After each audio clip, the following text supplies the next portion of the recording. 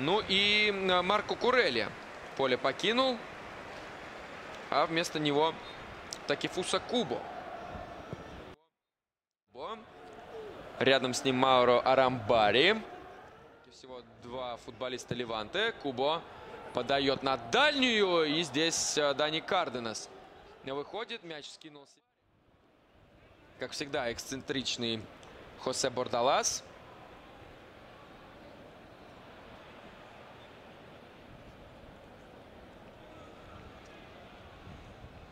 Какая актерская игра все-таки. Ну, пос- в выезде, что касается Леванте, то Леванте будет играть дома. Дома в последнем туре примет Кадис. Об этом чуть позже Кубо. Бьет поворотом! Такефусо Кубо забивает и выводит Хетафи вперед! Вот такое вот развитие событий нас всех ждало. Вот поэтому была такая пауза. Все ждали появления этого гения. Посмотрите, насколько он эмоционален. Он ждал этого момента. У него очень сложная карьера. Постоянно в арендах. В него не верят. Ну вот посмотрите на эту футболку. Пятый номер. Такефусо Кубо выходит на замену.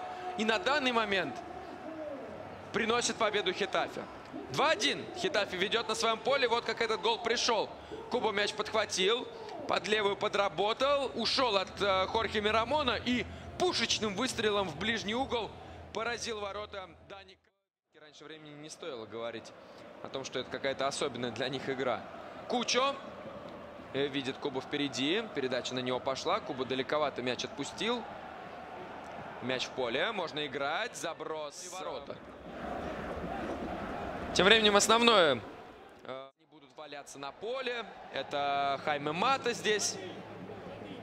Ноги ему сводит. Возможно, это и так. Но просто вот э, впечатление портит. Дани Карденас. Куба мяч подхватывает. От одного уходит. Отдает на пр- прострел. И забивать отсюда можно. Но удар не получается у Гонсало Мелеро.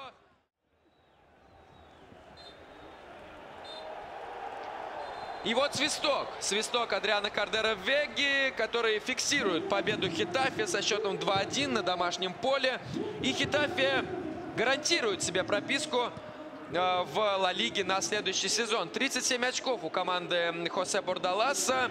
У Эльче, который на 18 месте э, прямо сейчас находится, 33. И один тур остался, соответственно, даже математических шансов э, нет у Хитафе, чтобы вылететь в низший дивизион. Такифуса Куба, King of the Match.